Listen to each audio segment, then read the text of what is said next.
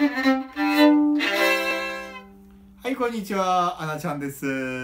えー、本日は火曜日。なるほど。音楽の時間です、えー、今日はですねトランプだけじゃない。バイオリンにもシャッフルがあるという話をしたいと思います。えー、あのまあバイオリンというかこれはフィドルの奏法になるんですかね。フィドル。ね。えー、フィドルとバイオリンえ何フィドルって？って思った方はえー、このアナちゃんのチャンネルの中にバイオリンとフィドルの違いについてという、えー、コンテンツがあるのでそちらを見てくださいね。はい、えー、あのフィドルこの、えーまあ、特にアメリカの方のブルーグラスとかそういう系統の奏法として出てくるあのシャッフル奏法というのがあります。でこれ、えー、よく私が演奏する「オレンジブロッサムスペシャル」っていう、えーブルーグラスの曲があるんですけれどもあこれもちなみに チャンネルに上がってるので 興味があったらぜひ見てくださいね。ねこれがシャッフル奏法ですまさに。えーえー、で、えー、この奏奏法の特徴なんですけどあのー、以前ねあのバイオリンは奇数の、え、フレーズが苦手だっていう話をしたじゃないですか。ね。でこれあの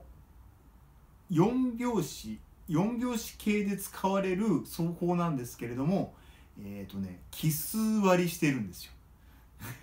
ちょっと話がややこしくなる。ちょっと分かりにくくてすいませんね。えっ、ー、と16分音符で 4, 4拍子だと4つで1拍なので16個入るんですけど、えーと、とその16個のうちの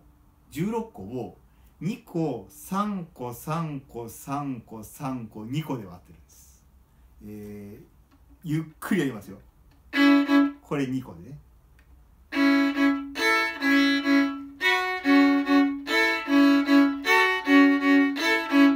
わかりました。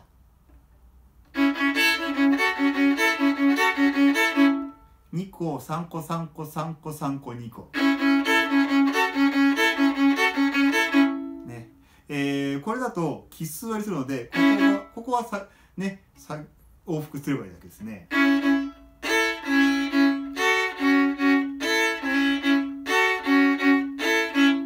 逆同じ動きを逆あーなんだなんだ同じ弦の移動を、えー、真反対の動かし方でやってるのか分かるでしょうかね。ねこれがねややこしくなるんですよ。これやると今度はあちょっと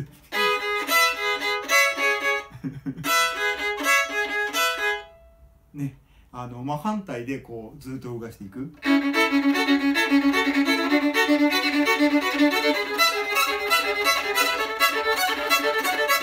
ね、こういうのがシャッフル奏法っていうんですね。まああのやっぱりこうななんでしょうねこう反対の動きでこういろいろその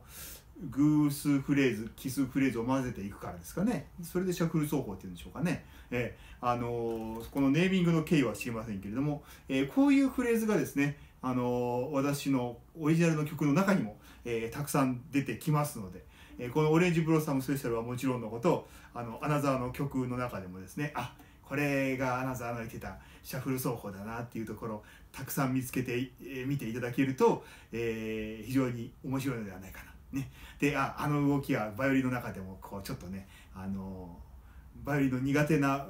こう動かし方なんだよなんていうことを周りの人にちょっとねあの喋るとねあのここの人音楽室だなみたいに見られちゃうかもしれませんよ。はい、ということで、えー、シャッフル奏法、えー、ぜひ覚えていただければと思います。あなちゃんでした。